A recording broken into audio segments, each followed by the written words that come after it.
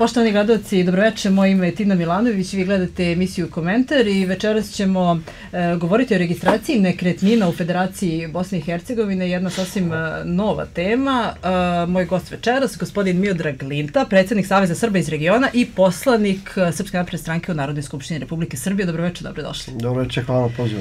Evo, ovo je jako interesantno, e, čini mi se od 2013. se govori o ovome, o ovom problemu i šta se to podrazumeva pod pojmom registracije nekretnina u Federaciji Bosne i Hercegovine. Kažem problemu zato što to nije rešavano, prosto pre 2012. znamo kako je to izgledalo i evo da kažemo nešto više o tome.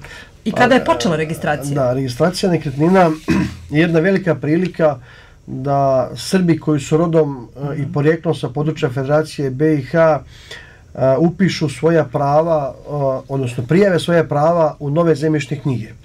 Naime, od 2013. godine, kao što ste rekli, teče proces registracije nekretnina. Istovremeno taj proces teče i u Republici Srpskoj. veoma je važno da Srbi koji su rodom i projeklom iz tih krajeva shvate da je ovo jedinstvena šansa da za vijek vijekova zašte svoju imovinu. Naime, na području Federacije BiH imamo o, stare zemljišne knjige još iz vremena Austro-Ugarske, odnosno čak ni sve opštine Federacije BiH, ima ih ukupno 79, nemaju te zemljišne knjige, njih jedno 15 je uništeno a, tokom drugog svjetskog rata, recimo u opštinama Boska Krupa, Sanski most, Glamoč, Drvar, a, Grahovo, a, Bihać i tako dalje, postoji takozvani popisni katastar. I sada je i Republika Srpske federacije BiH odlučila da bi prosto pripremili oba entiteta za ekonomski razvoj, za dolazak investitora, veoma je važno da se zna šta je čije.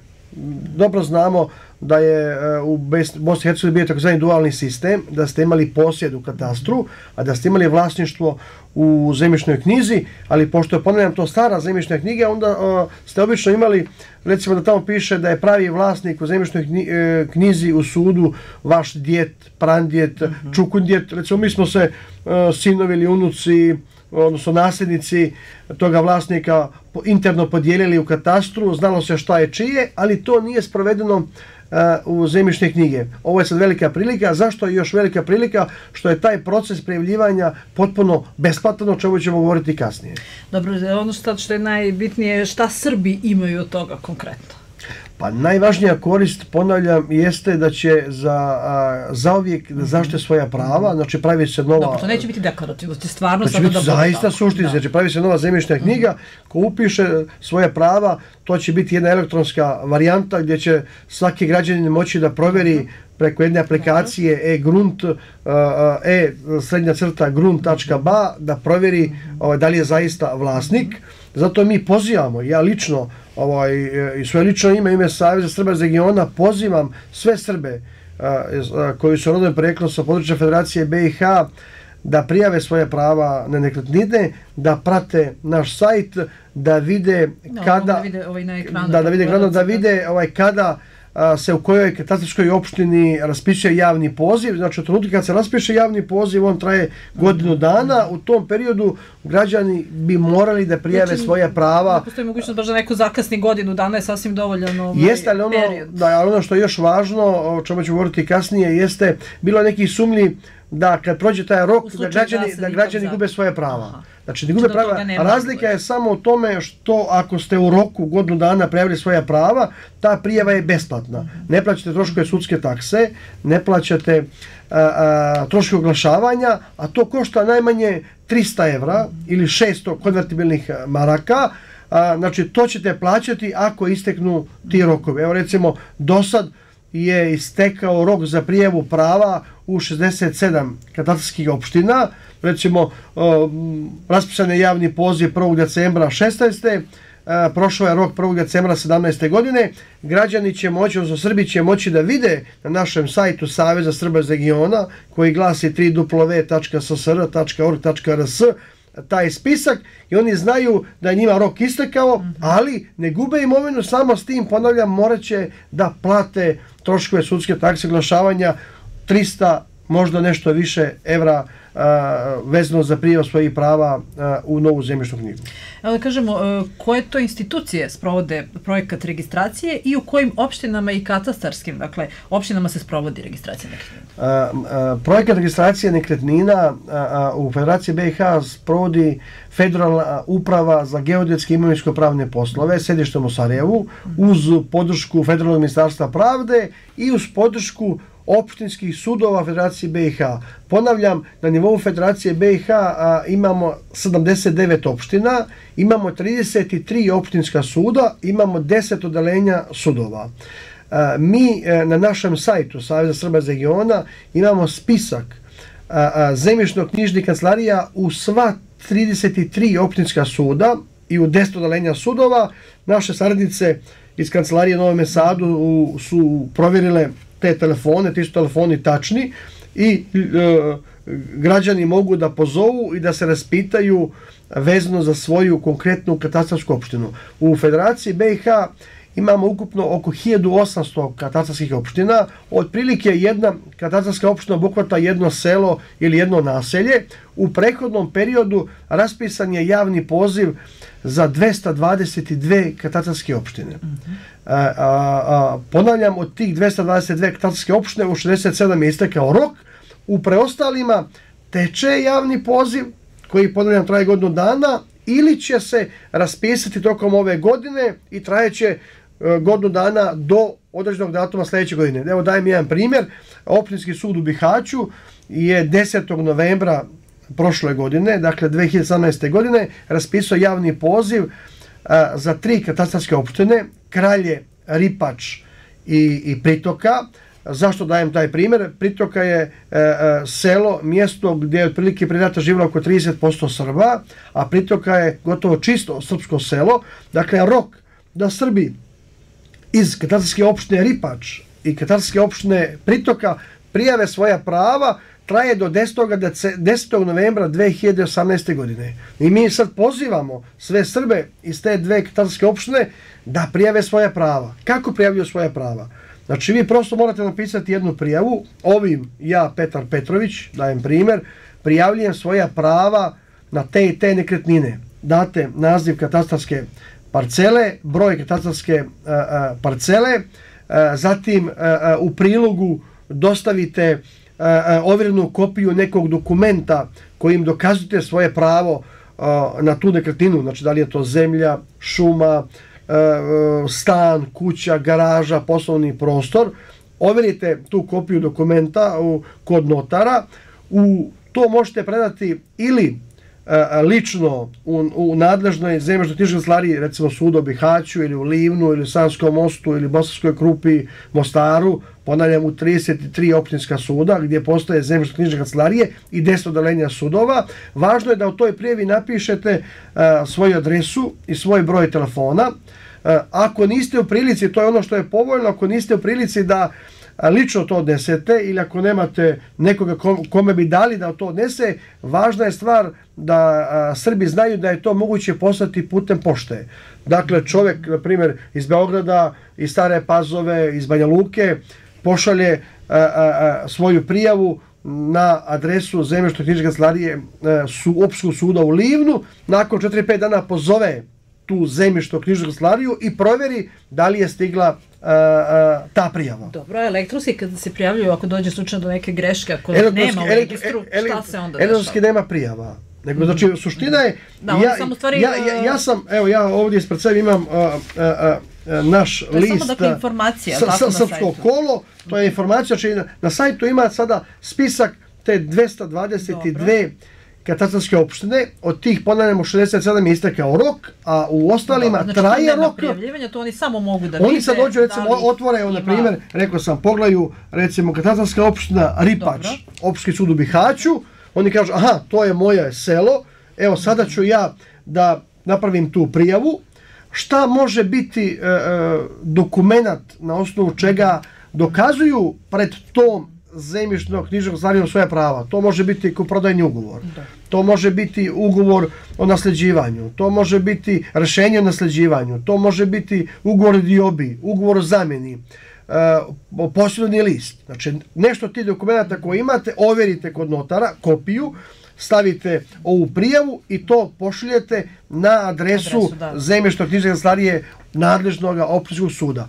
I sad ovdje e, građani mogu da prate, znači te katastarske... Aha, znači i u vašem časopisu. I, na, i mi imamo znači, naš časopis koji se zove Srpsko kolo, uh -huh. a, njega štampamo u 30.000 primjeraka, a, ovaj 24. broj je posvećen upravo a, temi čuvanja srpske zemlje i objekata u Federaciji BiH. Tu te tabele imamo također, kažem, na našem sajtu i sada građani mogu ko ko više voli štampano izdanje, naći će na sajtu brojeve telefona naše kancelarije u, svima, da, jeste, da, u, novome, da u, u Novome Sadu, pozovu, dobar dan, dobar dan, ja želim da mi pošaljete jedan primjer srpskog kola na tu i tu adresu i naše će sardnice postati putem pošte jedan primjerak ili pet primjeraka srpskog kola da podijele nekim svojim komšijama, zemljacima. Tu vidite spiskove, posebno želim naglasiti da ima spisak od 340 katastarskih opština, gdje je uspostavljen takozvani katastar nekretnina. Šta to u praksi znači? Po zakonu o katastru nekretnina iz 1984. godine utvrđeno su prava za ove 340 katastarskih opština i sada, ako građani vide da je tu njihova katastarska opština, tu neće biti javnih oglasa, tu će prosto nadležne zemljišno knjižne kancelarije preuzeti ovaj katastar u novu zemljišnu knjigu. Njihovo je, recimo, ako nađu, na primjer, evo ga, Sanski most, e, katastarska opština Bojište, aha, tu neće biti javnih poziva, pozvaću kancelar, zemljišno knjižnu kancelariju suda Sanskog mostu, provjerit ću da li je katastar nekretnina za moju KO bojište preuzet u novu zemljišnu knjigu i konstatovati da su moja prava tamo priznata. Dakle, ovih 340 plus ovih 222, to je 662 KO gdje ili je završen ili traje ili će trajati. Znači, još imamo do 1800, još imamo oko 1100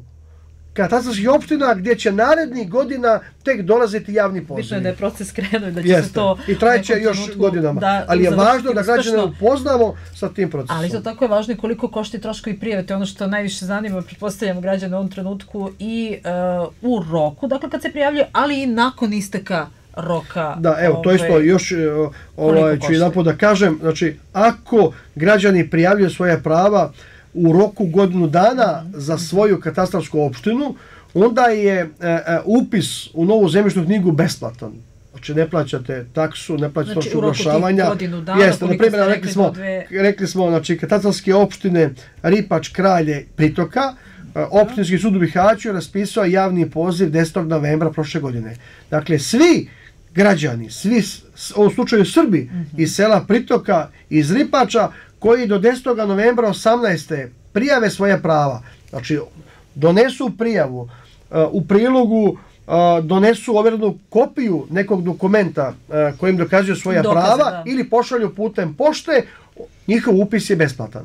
A ako, ako im prođe, evo recimo dajemo na primjer, evo ovdje imamo ovdje rok za priju prava na nekretnine istekao je za 67 KO, znači ovo je list da ima 56, to međutim isteklo još 11, to je 67. I to recimo, evo sad, recimo neko je recimo iz KO Gračanica, e on sada, uh, uh, sada nadležni sud, uh, odnosno nadležna zemlješto knjižna kancelarija recimo suda u Gračanici ili bilo kog drugog suda, mm -hmm. službenim putem gleda da li taj građanin ima nekakve, nekakve dokumente u sudu kojim se potvrđuje njegovo pravo. Ako ima, sud će ga samo pisati, ali u, većini slučajeva, u velikoj većini slučajeva, to sud neće učiniti. Nego građanin mora doći, e, e, vidjeti da je rok istekao, pozvati nadležnu zemlju knjižnu kancelariju i reći dobar dan, dobar dan, vidio sam da je rok istekao, ja želim da upišem svoja prava, i znam da ću sada da moram da platim troškove upisa. Oni, ponavljam, sada će koštati 300 evra. Zato mi ljude pozivamo da prate a, a, naš sajt Srpsko kolo, da prate ove tabele i prosto pogledaju u tim tabelama da li je njihova katastarska opština došla u dnevni red. Evo, na primjer, ću sad ovaj, ovaj, da dam još. Na primjer, evo ga, recimo, evo, Livno, evo ga, Livno, Tomislav grad kaže ovdje, obim oglasa uspostave zemljišne knjige očekuje se između februara i juna 18. godine. Znači možda će tamo negdje 1. maja 18. biti raspisan javni poziv i ti će građani imati rok do 1 juna 2019. da prijeve svoje prava. Znači, znači tu, od toga kako je napisan pa godinu dana. Go, od, dana, od, dana, od dana objave oglasa važi godinu dana besplatni upis u nove zemljišne knjige. Ako neko ne može da dođe lično da ostavi dokaze, da li može neko drugi to da uradi? Kao što sam rekao, znači može, može znači lično, može preko punomoćnika, mm -hmm. a može što je jako važno putem pošte. Znači ja sam sad E, na primjer, ja sad u, imam, ne, e, imam posjedovni list, živim u Staroj Pazovi, ja sam sada, na primjer, iz uh, sela Pritoka, traje mi rok za prijevu, ja ću overiti sada ugovor, prodanje ugovora koji imam ili, ili rješenje o nasljeđivanju ili ugovor o diobi, ugovor o zameni, ugovor o poklonu, overit ću ga kod notara u Staroj Pazovi, napisat ću jednu ovaj, prijevu da ja, Petar Petrović, prijavljen svoje prava na tu parcelu broj taj i taj, tu parcelu taj i taj, taj objekat broj taj i taj, to ću, stavit ću svoju adresu, svoj broj telefona i stavit ću u kovertu tu prijavu potpisanu i overnu kopiju tog dokumenta. I to ću poslati na adresu zemlještog knjižne kancelarije Opskog suda u Bihaću. Ili bilo kog drugog Opskog suda u Federaciji BiH. Dobro. A ima ih, ponavljam, 33 ukupno plus 10 odelenja sudova. A ljudi da vam smo olakšali, E, znači na našem sajtu ponavljam i u srpskom kolu mogu naći spisak sva tri sva 33 općinska suda i telefone zemlježno knjižnih kancelarija i 10 udalenja sudova. Na primjer, ja sam a, a, a, općinski sud u Livnu, evo ga ovdje imamo, na primjer, sud u Livu, zemlježno knjižna kancelarija, broj telefona je 034 206 129. Naravno, za Bosnu i Hercegovinu zovemo 00387. I tako za bilo, za bilo koji sud, odnosno zemlještno knjižnu stvariju, mogu se naći telefoni ovdje kod nas i na sajtu. A koja je razlika između registracije nekretnina recimo u Republici Srpskoj, a koja je u Federaciji Bosne i Hercegovine? E, postoji velika razlika. E, e, nažalost, u tom smislu e, Srbi koji su rodom i porijeklom sa područja Federacije BiH su diskriminisani u odnosu na građane Republike Srpske, u ovom slučaju prije svega na Bošnjake i Hrvate. Naime, prema zakonu o premjeru i katastru Republike Srpske, a, a, nadležne jedinice Republičke uprave za geodetske i imovinsko-pravne postave Republike Srpske su obavezne da šalju pismena obaveštenja svim građanima Republike Srpske. Ako ne žive u Republici Srpskoj, recimo žive u evropskim zemljama, u Americi, Australiji, onda nadležna područna jedinica Republičke uprave pokušava preko njihovih rođaka a, putem raznih informacija da dođe do tog čovjeka. Recimo, sazna da taj bošnjak živi u, u Štokholmu ili Berlinu, oni mu šalju pismeni poziv, stupaju s njim u telefonski kontakt i pitaju ga, dobro, kada vi planirate doći u vaše selo? to je recimo sad, evo, januar on kaže ja ću doći u junu na odmor ili u julu, dobro, javite se kad dođete u julu našoj e, jedinici Republičke uprave za geodetske poslove Republike Srpske i mi ćemo sa vama da, da vidimo što imate od nekretnina, daćete nam vaše dokaze, dokumente i mi ćemo vas upisati u takozvani katastar nekretnina u Republici Srpskoj. Dakle, u Federaciji BiH imamo i dalje dualni sistem, imamo zemljišne knjige e, u sudovima, a katastar posjed u opštinama, dok u Republici Srpskoj se spostavlja jedinstveni katastar nekretnina. Nećemo imati tamo zemljišne knjige katastar, imat ćemo samo jedinstvenu evidenciju. A da li ta diskriminacija koju ste pomenuli može da dovede do, da li postoji zakonska mogućnost uopšte da se Srbima ove, e, način otme imovina? E sad gledajte, nije moguće samo ovaj dio da završim i sada, dakle, svaki bošnjak i hrvat će biti pozvan od Republičke uprave za geodetske imovinsko-pravne poslove Republike Srpske da upiše svoja prava u katastar nekretnina. Ti su bošnjaci i hrvati često prijatno iznenađeni da ih neko traži širom, svije, ši, širom svijeta da upišu svoja prava na, na svoje nekretnine. S druge strane, e, evo kao jedan primjer vam dajem, e, e, u izvještaju Republičke uprave za geodetske imovinsko-pravne poslove Republike Srpske samo za 2016. godinu potrošeno je preko 900.000 evra za slanje pismenih obaveštenja građanima Republike Srpske širom svijeta. S druge strane, nadležni opštinski sudovi Federaciji BiH nemaju obavezu da šalju pismene pozive. U zakonu u zemljišnim knjigama kaže da oni imaju obavezu da šalju pozive ako poznaju adresu. Pošto znamo da je najveći broj Srba, a podsjećam u Federaciji BiH prije rata, po popisu 1991. godine je živjelo negdje oko 560-580 hiljada Srba, a po popisu 2013. živi ih svega 56 hiljada. Dakle, preko pola miliona Srba s Federacije BiH je protirano, plus, ako računava veliki broj Srba koji je otišao s tog područja još kolonizacijom 46. 7. 8. godine pa 50. i 60. godina i sada za njih općinski sudovi ne znaju adrese. I time se oni amnestiraju odgovornosti da šalju pismana obaveštenja, jer ih zakon na to ne sili, kao što sili Republičku upravu Republike Srpske da šalje pismana obaveštenja. I sada šta je obaveza općinskih sudova u Federaciji BiH? Da objave javni oglas u službenom glasniku BiH, da objave u službenim novinama Federacije BiH i u dva dnevna lista, recimo dnevni avans. Ali možete misliti koji Srbin u Srbiji, u Srpskoj, u Americi, Australiji, evropskim zemljama čita dnevni avaz i čita službeni glasnik i službeni list. I tu postoji ta opasnost da ljudi ne budu informisani i da prođu ovi rokovi. Znači, suština čitave priče jeste da građani e, e, e Federacije BiH, prije svega Srbi, nisu izjedačili svojim pravima jer, jer ih e, nadležna federalna uprava ne šalje pisane obeštenja, nego moraju sami da se informišu. Zato smo mi shvatili značaj toga informisanja i odlučili da putem našeg sajta, putem gostovanja na medijima, putem našeg lisa Srpsko kolo, koje izlazi jednom mjesečno, građane, odnosno Srbe, znači, informišemo, sve, informišemo o tim pravima. A da li postoji obaveza retro, retroaktivnog plaćanja poreza na imovinu? To je jedno od ovako bitnih Jeste, to je jedno od važnih pitanja, pitanja pogotovo da. za Srbe koji, su, koji žive u Srbiji, a rodom i porijeklom su sa područja uh, Federacije BiH, ne postoji zakonska obaveza retroaktivnog plaćanja poreza uh, Federaciji BiH. Ali ja bih želio posebno istaći jednu važnu stvar.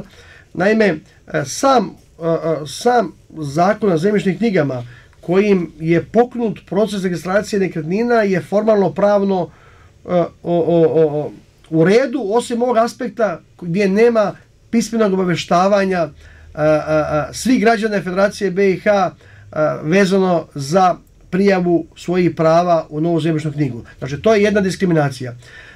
Zašto ta diskriminacija postoji u odnosu na Srbe, a, a ne postoji u odnosu na Bošnjake i, i Hrvate u Republike Srpskoj? I Republika Srpska je svojim zakonom o katastru uh, i primjeru 2011. godine isto bila predvidjela mehanizam javnog oglašavanja. Međutim, tada je bošnjački član predsjedništva Bakri Zedbegović podnio zahtjev za, ocjenu ustavnosti uh, Ustavnom sudu BiH. Ustavni sud BiH je na osnovu toga zahtjeva uh, obustavio daljnje sprovođenje zakona o katastru i premjer Republike Srpske i onda je Skupština Republike Srpske bila primorana da umjesto sistema javnog oglašavanja uvede sistem pismen, obaveznog pismenog obještavanja. E sada, gdje postoje još opasnost vezano za otimanje srpske imovine? To je zakon o stvarnim pravima. To je jedan drugi zakon, pored ovoga zakona na zemljišnim knjigama. Evo daću vam primjer samo dva člana. U članu 58 zakona o stvarnim pravima postoji takozvani institut dosjelosti ili kod nas se to kaže državina. Šta to znači? Znači, ako mi svi dobro znamo, ponavljam, da je pola miliona Srba protjerano iz Federacije BiH, da dobar dio Srba je otišao i prije rata iz svojih sela, sa svojih ognjišta, trbukom za kruhom u Srbiju, treće zemlje ili iz nekih drugih razloga. E sada, zakon kaže, ako neki, neko lice, ja dajem primjer, neki bošnjak ili hrvat, u Glamoču ili Drvaru ili Sanskom mostu, obrađuje moju zemlju. I ja zato znam i ne bunim se. Ako prođe 10 godina, on može podnijeti tužbu opštskom sudu, dovesti dva sedoka i reći, evo ja obrađujem tu zemlju 10 godina, vlasti Srbin to zna, on se ne buni, na osnovu toga instituta opštinski sud može donijeti, donijeti rješenje da taj Bošnjak sada postaje vlasnik te zemlje. E, čovjek dolazi sa novim rješenjem u zemljišnu knjižnu kancelariju i upisuje se kao vlasnik u novu zemljišnu knjigu umjesto Srbina. Ne može se povrati više, tako? E onda, naravno, da taj bivši vlasnik, u stvari pravi vlasnik Srbi, imaće puno problema da sudskim putem povrati svoje prava. Postoji mogućnost, ali, ali to, to, to će koštati. E sad, drugi dio toga instituta dosjelosti je još opasniji. On glasi sljedeći, ako Božak ili Hrvat obrađuju zemlju nekog Srbina, a on za to ne zna, i to rade u kontinuitetu 20 godina, opet taj Bošnjak može doći ili Hrvat uz dva svjedoka i da kaže, evo, ja sam tražio toga vlasnika Srbina, ja ga nisam našao, evo, ja 20 godina obrađujem tu zemlju, koristim taj pašnjak, tu livadu, ja podnosim tužbu i tražim od suda da me upiše, da mi da rešenje na osnovu čega ja postajem vlasnik te nekretnine. Zašto je to sad opasnost? Znači, a to je većinski slučaj. 95. godine je završen rat, od završetka rata do danas su protekle 23 godine. Taj institut dosilosti kada Srbi ne zna da neko obrađuje njegovu zemlju je sada upravo teče. Znači 2016. 21. godina, 2017. 22. godina. Zato ja pozivam sve Srbe koji ne žive ovaj, u svojim selima Federacije BiH da se raspitaju preko svojih rođaka, komšija na razne načine, da li neki bošnjak ili hrvat obrađuju njihovu zemlju u kontinuitetu. Ako obrađuju, treba od njega da zatraže da prestanu sa tim. Ako neće bošnjak ili hrvat da, da prestanu, da, onda je dovoljno da Srbin, vlasnik te zemlje, podnese tužbu nadležno opštinskom sudu i tog trenutka prestaje institut državine prestaje mogućnost da se taj Bošnjak i Hrvat poziva na 20 godina neprikodnog obrađivanja zemlje. Naprimjer, on je ušao u 19. godinu, ima još godinu dana do 20. godine, kad stiče pravo da podnese tužbu i da dobije rešenje o vlasništvu. Ja sam podnio tužbu kao vlasnik Srbin u 19. godini, 20. godini, to je trenutka taj institut državine prestaje. I druga opasnost, to je član 59 zakona o stvarnim pravima, koji se zove građenja tuđem zemljištu. Šta to znači? I to se dešava dosta slučajeva. Ako neki bošnjak ili hrvat sagradi neki objekat na, na mojoj zemlji, poslovni prostor, stan, kuću, benzinsku pumpu, bilo šta drugo, garažu, i vrednost toga objekta bude veća od a, a, vrednosti mog komada zemlje, a uvijek je objekat vredniji od zemlje. Šta se dešava? Po tome članu 59 zakona stvarnim pravima ja, Hrvat ili Bošnjak, mogu da od suda zatražim da me upiše kao vlasnika, jer je objekat vredniji od zemlje, a imam samo obavezu da isplatim tu zemlju u vrednosti prije građenja objekta. Mi svi znamo da u tim krajima gdje sad nema naroda da vrednost zemlje nije velika. I ako ono recimo vredi 4-5 hiljada evra, ja ću isplatiti Srbinu 2000 evra nikom ništa ne može, upisat će me sud kao vlasnika ne samo te nekretnine, nego čak i i zemlje toga vlasnika Srbina. Stvar samo na vrijeme ovaj reagovati. Znači, važno je da ljudi pre svega se informišu s jedne strane da li, da li je u njihovim katastarskim opštinama raspisan javni poziv za prijevu prava, s jedne strane, a s druge strane da se raspitaju da li neki bošnjaci ili hrvati obrađuju njihovu zemlju, da im kažu da to više ne čine, ako ponavljam to čine, podnesu tužbu nadležnom opskom sudu i time pre, prestaje institut državine ili da vode računa da neki bošnjak ili hrvat ne grade neki objekt na njihove zemlji jer se mogu pozvati na član 59 toga zakona i pozvati se na veću vrednost toga objekta i faktički putem tužbe opštinski sud je može dijeliti vlasništvo, ponavljam, ne samo nad objektom, nego i nad tom zemljom. Imamo jednu porodicu Glivo u zapadnoj Hercegovini koja ima te muke gdje je neki Hrvat sagradio taj objekat i sada oni ne mogu da povrate svoju zemlju i preti opasnost da izgublje i tu zemlju, odnosno da im taj Hrvat da nekakve simboličke pare za tu zemlju koja vredi 5-6 puta više. A kakva je sudbina lica koja nisu rođena na teritoriji Bosne i Hercegovine koje nemaju državljanstvo Bosne i Hercegovine? Ono što je jako dobra stvar što a, a, a, svi građani, odnosno svi Srbi, čiji je otac ili djed rođen u Bosni i Hercegovini, imaju pravo na državljanstvo BiH, a ne moraju da podnesu zahtjev za državljanstvo, faktički mogu, ne smatruju se strancima, znači oni mogu bez problema, znači moj djec je doselio 50. godine iz Sanskog mosta u Staru Pazovu, u Novu Pazovu, e, ovdje živi, rođen je moj otac, ja sam sad unuk, e, nisam nikad bio tamo, ja mogu, ako je umro moj djet ili da je moj otac e, prepušta meni da budem vlasnik, ja na ostavinskoj raspravi dobijem rješenje na sljeđivanju, ja kao unuk koji nikad nisam bio tamo, nemam državstvo BiH, bez problema mogu da podesem zahtjev da se ja upišem kao vlasnik prava na te i te nekretnine. Dakle, vrlo je povoljan zakon, omogućuje mi, ako nisam državljanin, da prijavim svoje prava na nekretnine. Vi ste godinama isticali da je ostvarivanje imovinskih prava zapravo prioritetan zadatak. Mnogi nisu verovali da je ovo moguće, ali evo u narednim godinama, kao što ste rekli, planira se i završetak konačno. Yes. I ono što je važno isto, posla. jedno od pitanja je bilo, pogotovo za Srbe e, koji su rodom porijeklom iz Federacije BiH, koji žive u Srbiji, da li, e, da li e, se rešenja o nasljeđivanju ovaj, sa ostavljski rasprava u Srbiji priznaju pred nadležnim opštinskim sudom u Federaciji BiH priznaju se, to je važno, znači desi se, da je Bože umre moj otac ili djed uh, ovdje u, u Srbiji, no, mi, znači mi, mi, mi pravo, uradimo da. ostavinsku raspravu u Srbiji, da. to rešenje na nasljeđivanju suda u Srbiji se priznaje uh, pred nadležnim opštskim sudom u Federaciji BiH. Evo ostaje za kraj da još jednom pozovemo građane tako da se prijave, da stvari da provere E, svoja prava na sajtu koji, e, koji možete vidjeti na ekranu. Pa evo ja bih još jednom iskoristio priliku da pozovem sve Srbe koji su rodom i porijeklom sa područja Federacije BiH, ima ih zaista mnogo, pre svega u Srbiji, ali i u Srpskoj i širom svijeta, da prijave svoje prava e, nekretnine, da upišu svoje prava u novu zemljišnu knjigu, da prate sajt Savjeza Srba iz regiona, ponavljam www.ssr.rs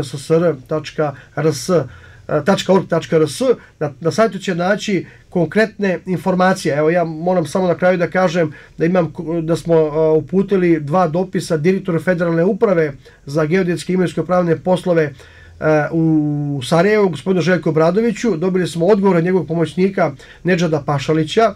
Također smo uputili niz pitanja šefice zemljošto knjižka slarije Opskog suda u Tešnju Dijani Brkić, koja je dala također vrlo korisne odgovore.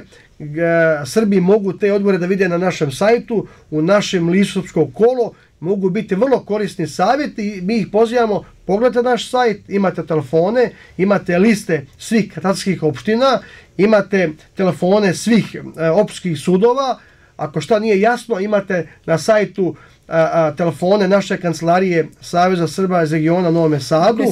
Imamo naravno ima, imamo naš ovaj, e-mail gdje mogu da pošalju pitanja. Mi ćemo kontaktirati a, a, Federalnu upravu u Sarajevu, slaćemo ta pitanja, objavljivat ćemo odgovore i pokušat ćemo ljudima da pomognemo da budu aktivni činilac u borbi za svoja prava, a ne da taj čitav proces prođe mimo njih, što je bi bilo u interesu nekih krugova u Sarajevu. Jasno. Hvala puno što ste bili gosti emisije Komentar. Hvala vama. Poštovani gledaci, hvala što ste bili večeras sa nama. Vidimo se sljedeće nedelje. Prijetno večer.